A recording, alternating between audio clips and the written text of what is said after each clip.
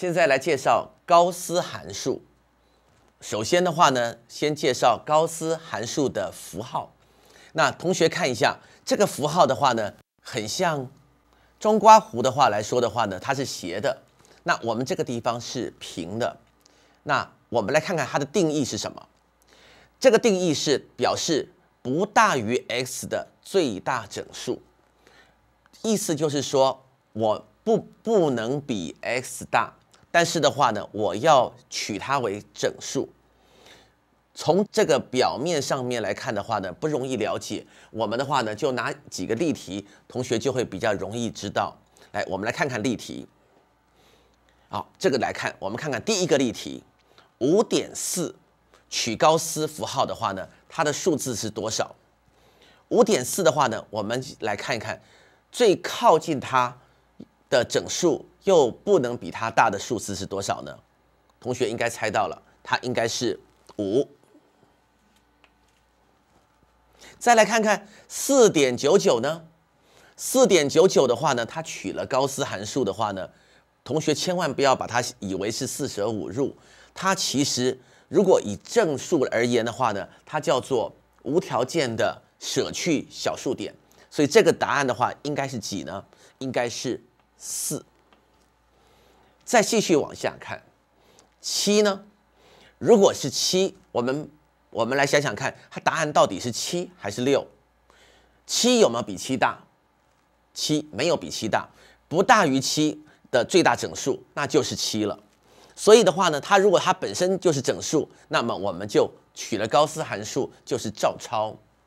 再来看拍，拍是一个无理数。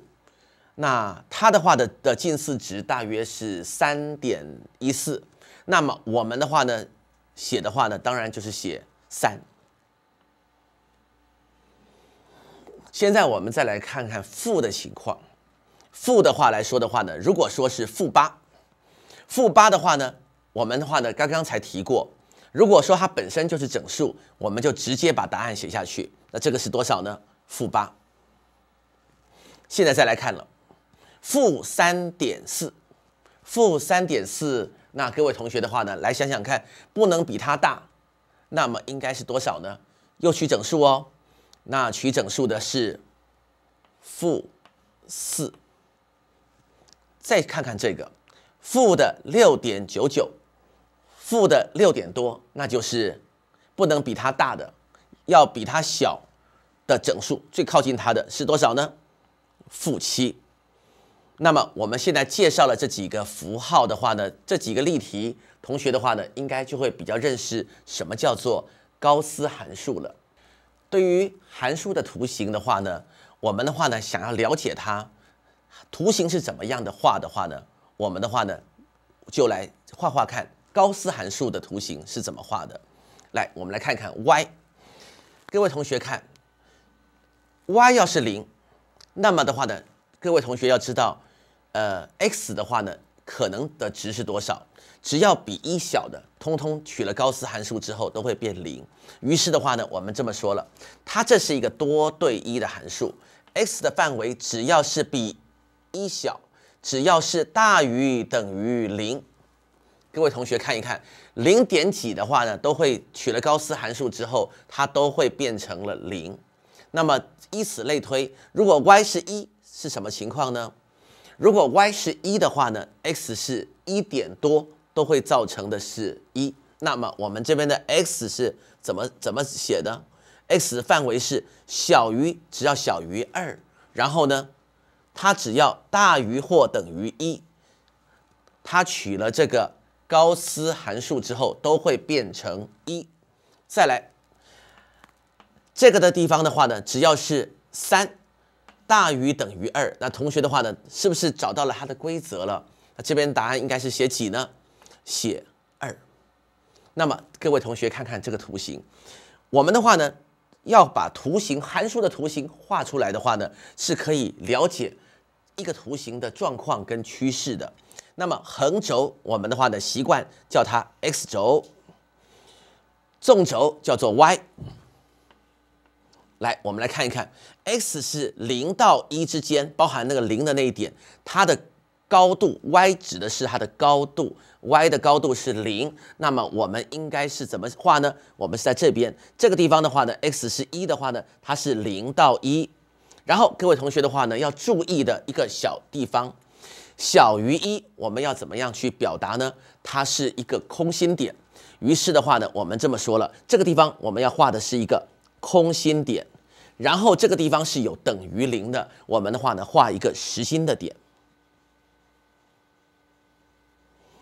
这一段的话呢，我们的图形在这上面，再看看这个，它的高度是一，高度是一，在一在这边，那么 x 的范围是一到二，包含一那一点，这边是二，那么一到二的话呢，那怎么画呢？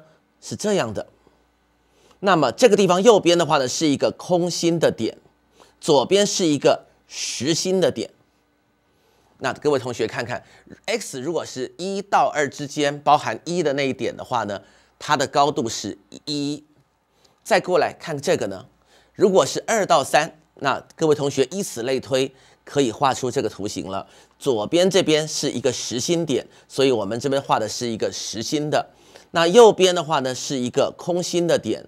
我们的话呢，以此类推，这样子画出来，各位同学能不能够看得出来它的图形的趋势呢？它的图形的话呢，是一个像个爬楼梯一样的方式去表达的。那么我们的话呢，又称这种函数图形，高斯函数的图形叫做阶梯函数。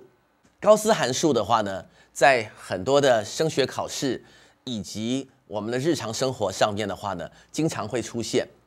那有一个高斯函数的一个很重要的不等式，那我在这个地方给各位同学介绍一下。首先的话呢，我们来看看，如果你看不懂的话，我来做一个这样的说明。各位同学，请看，一个取高斯函数的一个 x 的话呢，它取过了以后，是不是它会一定会稍微小一点或了不起一样？